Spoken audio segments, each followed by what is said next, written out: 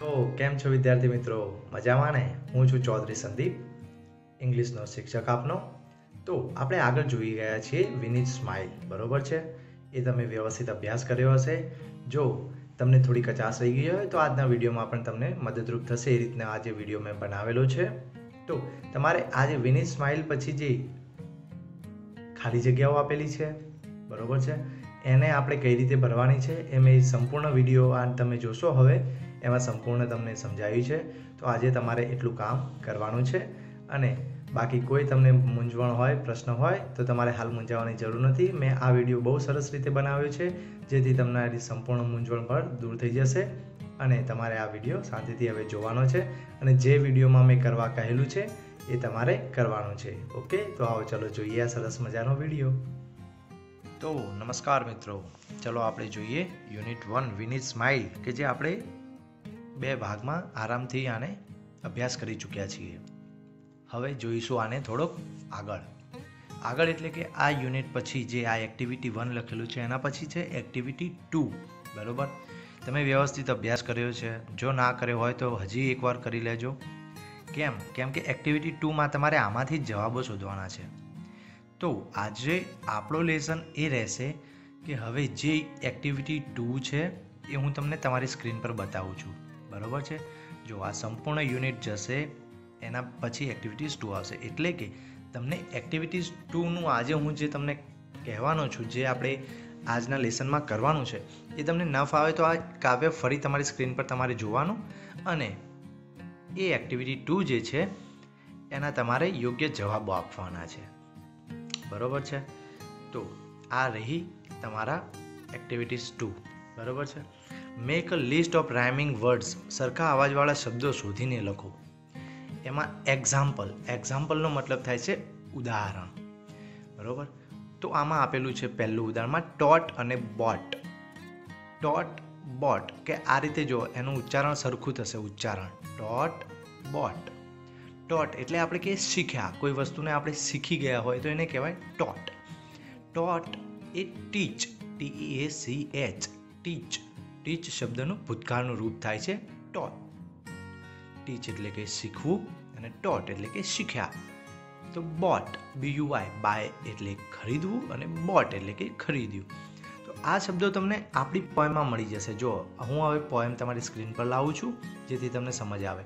ટોટ અને બોટ તમે જોયું? તો આપણે આ પોએમને જોવાની છે.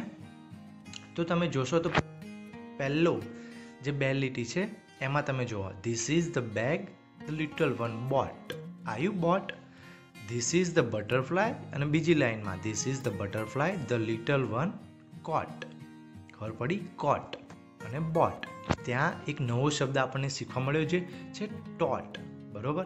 તો તમે આ રીતે, તમારી મુજબ પણ કોઈ શબ્દ જો તમને આવડતો હોય, તો તમે બનાવી શકો છો.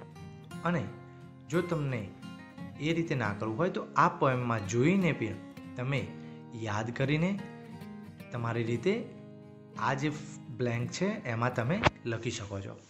હવે તમારે તમારી નોટબુકમાં સંપૂર્ણ આ રીતે make a list of rhyming word એટલે કે સરખા અવાજવાળા શબ્દો શોધે એવું એવું ટાઇટલ મારવાનું એક્ઝામ્પલ પણ લખવાનું અને એક્ઝામ્પલ નહીં લખો અને જોડે જોડે બસ એક, આ બે, ત્રણ, ચાર, પાંચ અને કુલ છ જેટલી બી ખાલી જગ્યા છે એ આપણે સંપૂર્ણ રીતે તમારે લખવાની છે. બરોબર છે? હજી બીજું છે કમ્પ્લીટ ધ ટેબલ આ ટેબલ તમે જોશો તો ઉપર ટાઇટલમાં લખ્યું છે કે થિંગ્સ થિંગ્સ થિંગ્સનો મતલબ થાય. T H I N G S things એટલે કે વસ્તુઓ. એસ લાગેલું છે બહુ વચનમાં છે, બરોબર છે? એટલે કે વસ્તુઓ. અને એની સામે છે એક્શન એક્શન એટલે કે પ્રતિક્રિયા. એની ક્રિયા. બરાબર છે? એની ક્રિયા શું થાય? બેગ તો એનો સામે એક્શનમાં આપ્યું છે કે બોલ્ટ મતલબ કે બેગને તમે ખરીદી શકો. બરોબર છે? તો તમે કાઇટ એનું ગુજરાતી મેં તમને સંપૂર્ણ દરેકે દરેક શબ્દનું ગુજરાતી શીખવાડ્યું છે. તો તમને હવે સવાલ થવો જોઈએ નહીં કે આનું ગુજરાતી શું થાય. એટલે અત્યારે હું ગુજરાતી બોલીશ નહીં. જો તમને યાદ ના રહ્યું હોય, તો આગળનો વીડિયો જોઈ લો અને સંપૂર્ણ ગુજરાતી જાણી લો.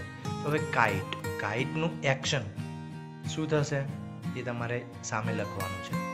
પછી અહીંયા એક્શન આપેલી છે કોટ સીએયુ જીએસટી કોટ કોટનું પણ મેં તમને ગુજરાતી સમજાવ્યું છે. હવે એના આગળ જે બ્રેકેટ છે થિંગ્સ એ ખાલી છે. એમાં શું આવશે? વસ્તુ, ખબર પડી? આપણે વસ્તુ લખવાની છે. અહીંયા એક્શન આપેલી છે તો વસ્તુનું નામ લખવાનું છે. પછી છે બેલ બેલને શું કરી શકાય? સોંગ સોંગનું એક્શન શું હોઈ શકે? અને પિક્ચર પિક્ચરનું એક્શન શું હોઈ શકે? તો આજે તમારે આ બે ટાસ્ક હું જે આપું છું એ તમારે પૂર્ણ કરવાના છે. જો તમને ક્યાંય ના આવડતું હોય એવું લાગે, તો એનો મતલબ કે તમે હજી પણ થોડી કચાશ રાખી છે શીખવામાં, મિત્રો. તો તમારે ધ્યાનથી આગળના બંને વીડિયો જોવાના છે અને પછી એમાંથી શીખવાનું છે. બરોબર છે? હું ફરી એવું હોય તો તમને આ બંને ટાસ્ક તમારા પર બતાવી દઉં છું. તમારે વિડીયોને સ્ટોપ કરવાનો, તમારી નોટબુકમાં લખી દેવાનું અને આ બંને ટાસ્ક તમારે આજે કમ્પ્લીટ કરવાના છે. પછી એક્ટિવિટી ટુ એ આપણે આવતા વખતે જોઈશું. બરોબર? હું તમને ફરી એકવાર પોએમ તમારી સ્ક્રીન પર વ્યવસ્થિત, જો તમને કોઈ આગળના વિડીયોમાં પણ તકલીફ થઈ હોય કે ના દેખાઈ હોય, તો આજે તમે આને ધ્યાનથી જોઈ લેજો. અને મેં સમજાવ્યું છે એ તમે સમજી લેજો. બરોબર છે? આજે તમારી સ્ક્રીન પર હું સંપૂર્ણ પોએમ બતાવી રહ્યો છું. બરોબર? જો આ સંપૂર્ણ પોએમ દેખાય છે.